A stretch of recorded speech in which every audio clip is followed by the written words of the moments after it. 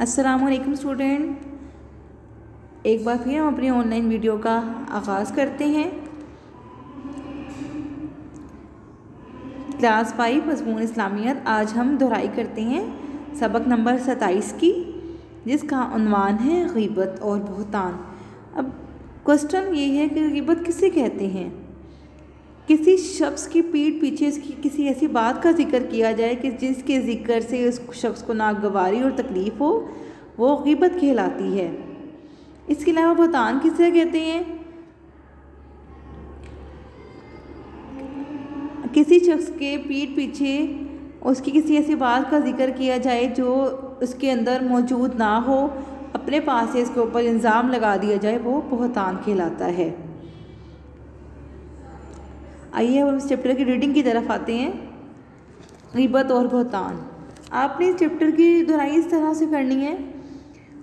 इसमें से इसके एम सी क्यूज़ प्रिपेयर करने हैं ट्रू एंड फॉल्स प्रिपेयर करने हैं और इसके अलावा फिल ब्लैंक्स प्रिपेयर करने हैं और ख़त कशीदा अल्फाज को आपने दुरुस्त करके लिखना है। जैसे वर्कशीट में आपके सब कुछ दिया गया था, उस तरह से आपने इसको रेडी करना है।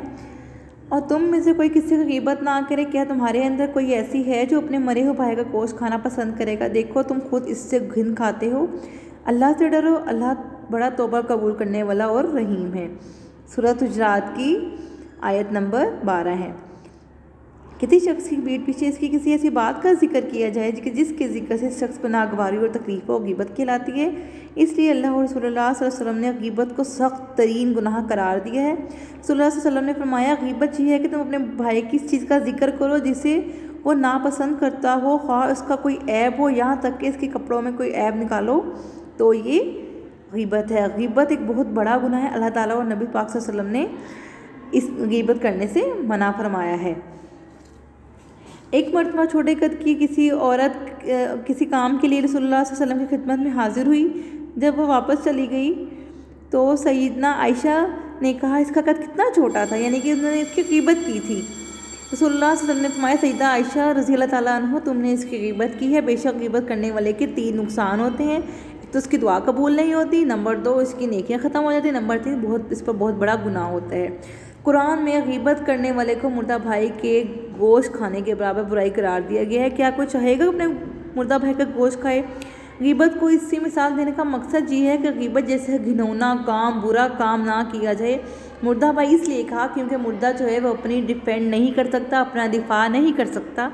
इस तरह जिसकी गिबत की जा रही हो, वो भी वहाँ मौजूद नहीं होता, वो अपने आप को बचा नहीं सकता गीबत से। क्योंकि इस वक्त वहाँ मौजूद नहीं है और जहाँ गिबत की जा रही है, हमें चाहिए कि हम इस बुराई से दूर रहें। जिस महफिल में गिबत हो रही है तो उस लोगों को मना करें और फिर लोग भी ना माने तो महफिल से उठकर चले जाएँ। जिस शख्स की बुराई हो रही है, उसकी तारीफ़ करें ताकि गिबत का असर ज़ाया हो जाए। रसूल वसल्लम ने एक दिन फरमाया, क्या तुम जानते हो गिबत क्या होती है? साहबा कराम ने किया, अल्लाह और उसके रसूल ही ज़्यादा इल्म रखते हैं। आप ने फरमाया, तुम्हारा अपने भाई का इस तरह ज़िक्र करना जिससे इसको बुरा लगे। किसी ने अर्ज़ किया कि, हज़रत, अगर मैं अपने भाई की कोई ऐसी बात करूँ कि इसने मौजूद हो, क्या वो गिबत होगी? सल्लल्लाहु अलैहि वसल्लम ने शायद मैं गिबत जब ही होगी, जबकि वो बुराई उसमें मौजूद होगी। और अगर इसमें वो बुराई मौजूद नहीं है तो वह फिर ये भुगतान होगा और यह कीबत से भी ज़्यादा बड़ा गुनाह है।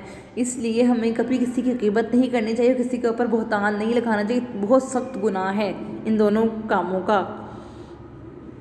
रसोल्ला वसल्लम ने फरमाया, क़्यामत के दिन आदमी के पास उसका खुला हुआ नाम माल लाया जाएगा। क़्यामत के दिन हमारे हाथ में हमारे सारी नेकियाँ, हमारे जितने भी अमाल नामा है, वो रख दिया जाएगा। वो इसको पढ़ेगा, फिर कहेगा, ए मेरे अल्लाह, मैंने दुनिया में फ़लाँ फ़लाँ नेक काम किए थे, वो तो इसमें नहीं है। अल्लाह ताला जवाब देगा, लोगों को गिबत करने की वजह से वो नेकियाँ तुम्हारे नाम माल से मिटा दी गई हैं। यानी कि जो जिसकी गिबत करता है तो उसके जितने भी ने जो गिबत करने वाले की जितनी भी नेकियाँ हैं, वो गिबत, जिसकी हम गिबत कर रहे होते हैं, उसके पास चली जाती है। यानी कि हमारी सारी नेकियाँ ज़ाया हो जाती हैं। फिर जब मुझे मेरा आज हुई तो मेरा गुजर ऐसे कुछ ऐसे लोगों पर हुआ जिनके नाखून सुर्ख तांबे के से थे, जिनसे अपने चेहरे और अपने सीनों को नोच नोच के ज़ख्मी कर रहे थे। वो आप जो है उस वक्त जब्राम के साथ थे मेराज पर। मैंने जब्राम से पूछा, ये कौन लोग हैं जो ऐसे सख्त मजाब में मुबतल हैं? जब्राम ने बताया कि वो लोग हैं जो ज़िंदगी में अपने लोगों के गोश्त खाया करते थे, यानी गीबत करते, यानी कि गीबत करना अपने मुर्दा भाई के गोश्त खाने के बराबर करार दिया है कौन पाक में। और दूसरों की इज़्ज़त से खेलते थे। फाइव क्लास आपने इस चैप्टर को अच्छी तरह से प्रिपेयर करना है। एमसीक्यूज के लिहाज से फिलिंदा ब्लैंक्स के लिहाज से ट्रू एंड फॉल्स के लिहाज से, और इसके जितने भी क्वेश्चन आंसर आपकी वर्कशीट में गिवन है उसको प्रिपेयर करना है। ये चैप्टर आपके मंथली टेस्ट में इंक्लूड है। अपना ख्याल रखिएगा। अल्लाह हाफिज़।